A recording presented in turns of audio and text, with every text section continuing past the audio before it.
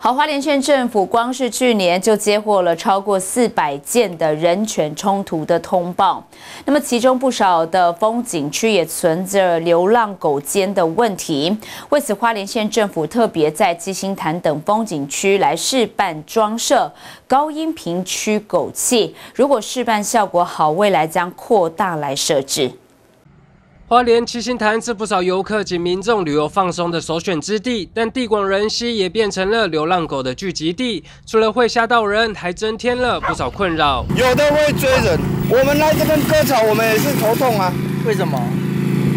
他也会追你们？不是，就是他们排的废弃物很臭。而而且我们不是说只有用开的，还有用人工背的，经常穿的。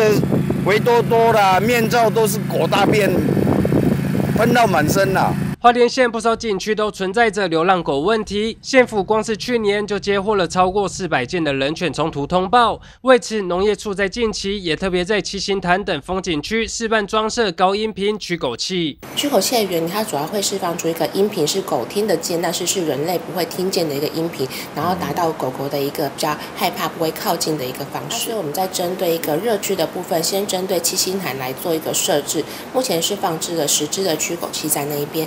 那在华人海铁部分，我们也在持续的跟土地管理机关，包括林管处还有九合局持续的协调当中。县府强调，在动保法的规定之下，只能用这种友善动物的方式来做驱赶，至于效果，则要看场域状况。如果通报人犬冲突的案件有降低，未来将会扩大办理。记者徐立琴，华联市报道。